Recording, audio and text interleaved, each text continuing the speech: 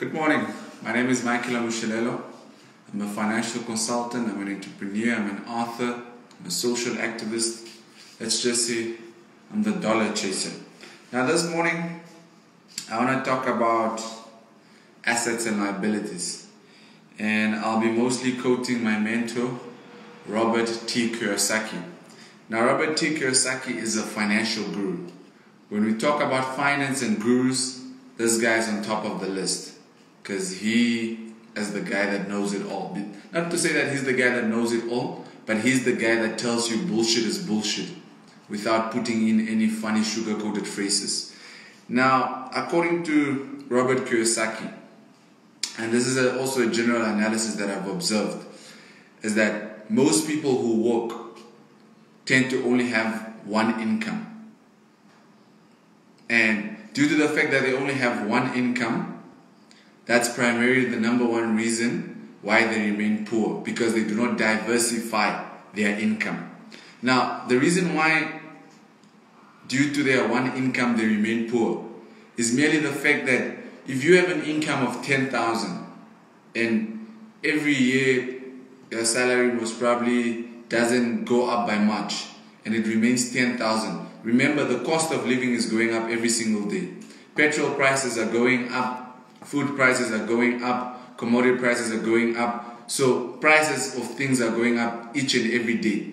So what's going to happen is gradually your 10,000 that used to be sufficient enough is going to be next to none due to the what? Your expenses being more. Now, I'm quickly going to demonstrate by writing a few things here. Uh, income, and then we have here expenses. Now, here's the thing you only have one income, which is your salary. Now, when it comes to expenses, the expenses are a lot. We're talking about your kids, the expenses, in case you didn't know. We're talking about your wife, should you have one, or slash girlfriend, for those who have girlfriends. We're talking about food, we're talking about rent, which is in most cases most people are renting, and then you've got a few people who have mortgages.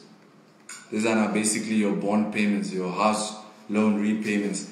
And then you've got a fifth one, which is usually what we call credit. Now, this credit can come in the form of a cash loan or money that you borrowed from someone whatever the case is. So now if you look at this list, you have here your income, which is your salary, and then you've got a lot of expenses. Now, do you honestly think your one salary will be able to cater for all those expenses? Now, your salary will be eaten. Ah, oh, and the biggest one. the biggest one. There, tax. That's your biggest expense, in case you didn't know. So as soon as the more money you start earning, the more the taxman takes.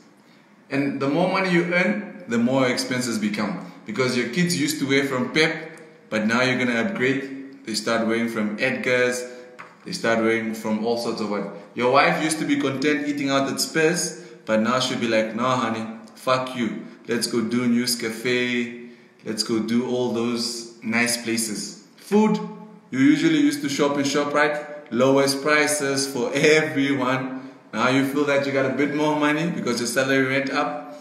All you do is shop in Woolworths, Spar, those expensive stores. So the mentality with most people, they think that the more money they get, then they'll be able to solve their problems. But in fact, in actual fact, the more money you start earning, the more expenses you start picking up.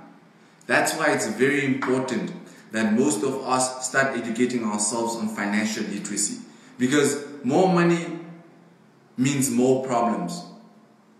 And most people never understood this statement to say, but no, I'd rather have more money and more problems.